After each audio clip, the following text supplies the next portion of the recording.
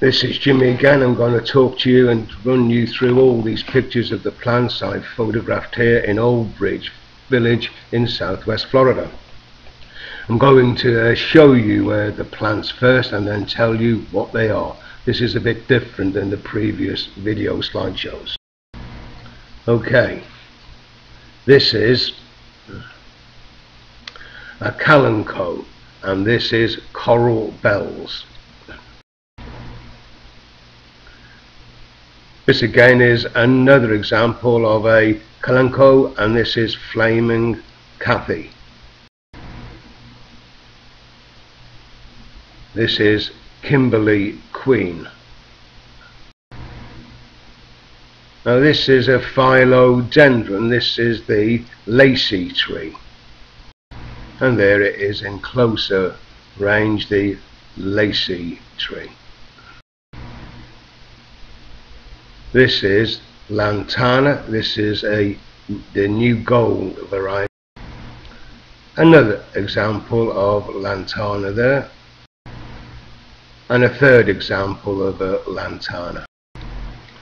Lemons next. This is a Meyer lemon. And this is a lime tree I've got in my garden. In fact, this is a key lime. Lairopes next, these just look like grasses. This is the Liriope Super Blue. And this is a variegated Liriope. And another example of the Liriope variegated. This is an immature live oak. Eventually this will be 30 feet high and 30 feet wide. This one is aged about three years now. This is a copper leaf and this is the Louisiana copper leaf. Beautiful flowers. This, this is about three years old and this is a magnolia.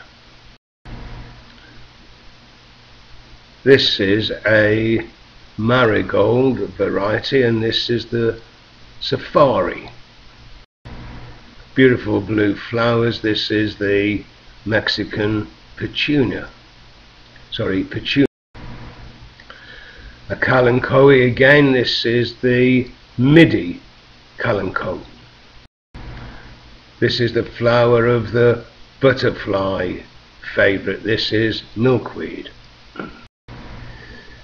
these are beautiful white flowers. These are miniature roses.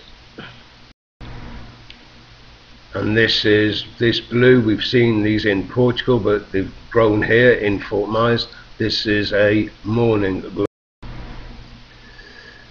This is a kalanchoe again, and this is Mother of Thousands. Beautiful. These come out in spring.